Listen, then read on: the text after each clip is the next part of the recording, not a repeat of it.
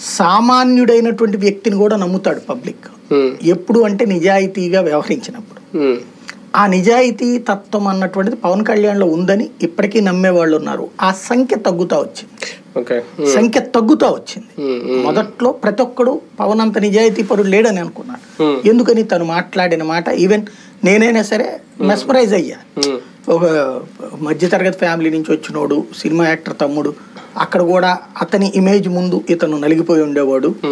అది ఇప్పుడు చూడండి ఒక సొంత ఇమేజ్ సంపాదించుకున్నాడు. ప్లస్ మంచి చేస్తానంటున్నాడు అది చేస్తానంటున్నాడు ఇది చేస్తానంటున్నాడు అన్నటువంటి ఓ పాజిటివ్ ఇమేజ్ నేను కూడా ఫీల్ అయ్యా.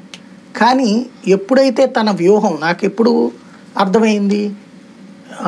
రెండు వేల పంతొమ్మిదిలోనే అర్థమైంది. రెండు వేల పంతొమ్మిదిలో అప్పటిదాకా తెలుగుదేశం ప్రభుత్వానికి వ్యతిరేకంగా ఉద్యమించినోడు ఒక్కసారిగా మాట మార్చేసి జగన్ గదినెక్కనివ్వను అన్నప్పుడు రెండు వేల పద్నాలుగులో మాట అన్నానికి అర్హతుంది రెండు వేల పంతొమ్మిదిలో జగన్ని గద్దెనెక్కనివ్వను రాసుకోండి మీరు అనేటువంటి మాట ఎప్పుడైతే అన్నాడో అంటే నువ్వు పోనీ నువ్వు వస్తానంటున్నావా?